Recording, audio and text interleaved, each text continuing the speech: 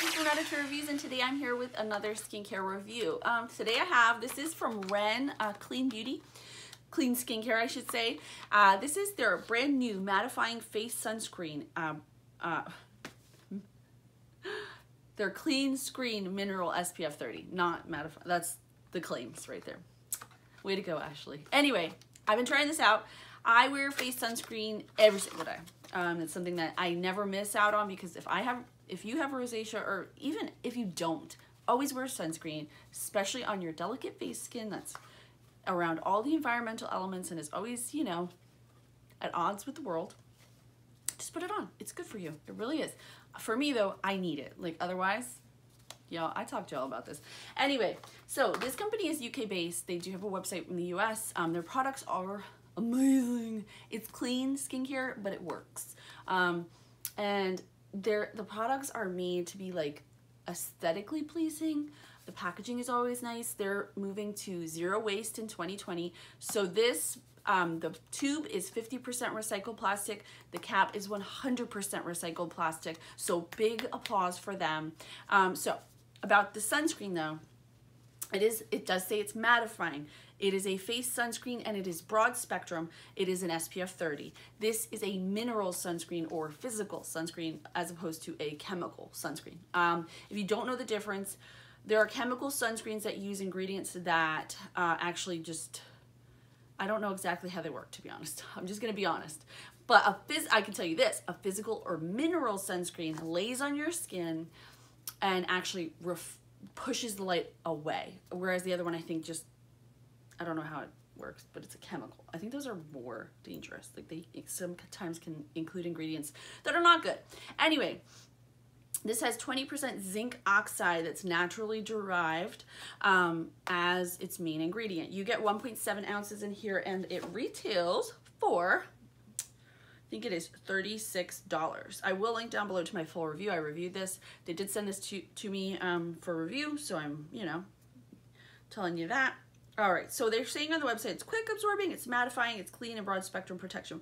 What more could you want in a sunscreen? Our silicone-free, clean screen mineral SPF 30 goes beyond ordinary sun protection to reduce shine and mattify on contact while protecting you against the aging effects of sun damage. So obviously this is something that people with oily skin are gonna be interested in.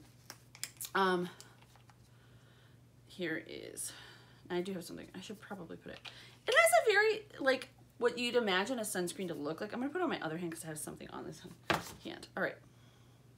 Um, it has not a sunscreen smell, which I love. I don't really like the smell of sunscreen. So there it is. And then you rub it in.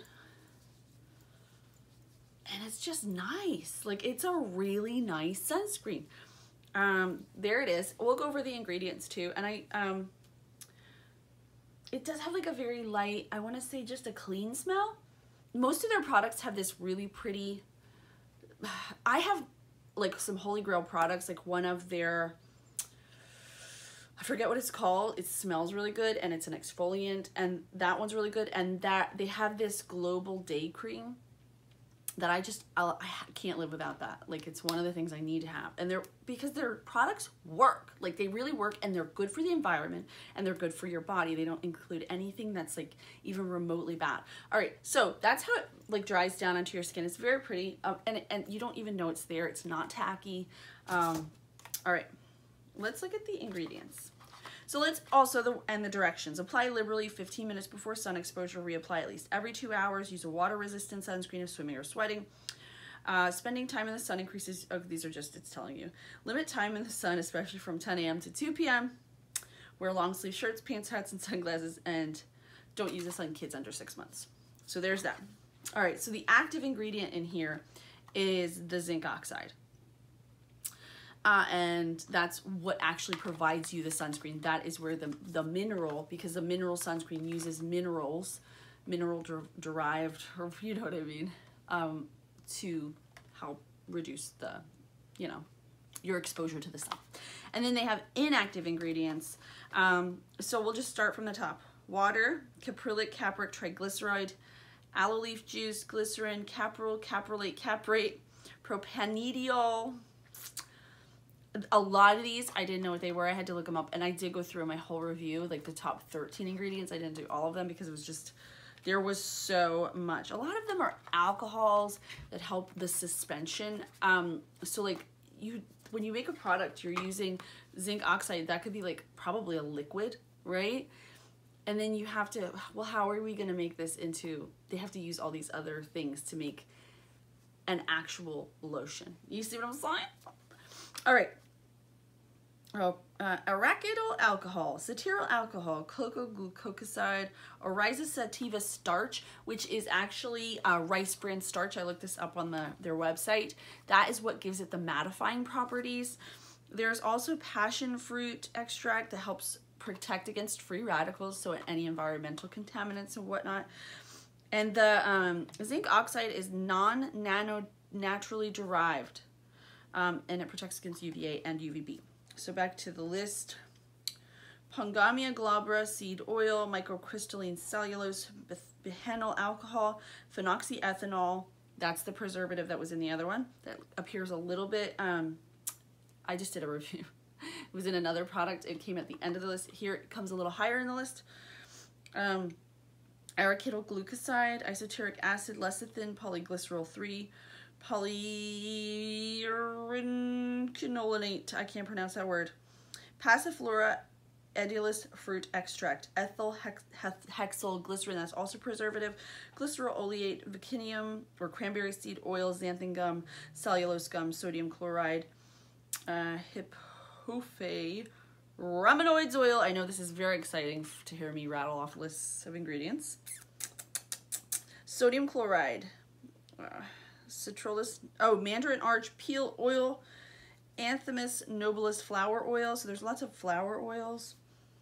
Uh, cinnamon oil, wood oil, Pelargonium gramineolus flower oil, glucose perf perfume or fragrance. So there is a little bit of fragrance in here. Helianthus or sunflower seed oil, tocopherol, uh, rosemary leaf extract, hydrogenated palm glycerides, glyceride citrate, citric acid, sodium hydroxide, citronellol. Oh, this is like citronella. Geraniol, limonene, limonene and lin linalool. All right, so the fragrance is 100% natural. So it's not like they're adding a chemical. It's probably some sort of a, uh, you know, an essential oil or something like that. I do think this is really nice. It does have a nine month shelf life. However, it does, if you didn't open it, it you would have it until 2021. Um, all their products are vegan and cruelty free, if that's something that matters to you. Uh, and it does tell you on here about the recycled plastic and whatnot. Dermatologist tested and approved. Uh, Ren never tests on animals. And that is it. Um, so if you're in the market for a facial sunscreen, this is a really nice one, particularly if you want it to not look greasy. You don't want that extra shine or whatever. Um, I think it's a really pretty, you can see, it's a very nice sunscreen if pretty is not the right word for a sunscreen, but it's a good one. Anyway, thank you guys so, so, so much for watching. I will link to Ren down below. I will also link to, that's not an affiliate link, by the way. I'm not, I'm not affiliated with them. Um, they did send this for a review, but that's it. Um, and I will also link to my full review. As always, thank you guys so, so, so much for watching. I'll see you next time.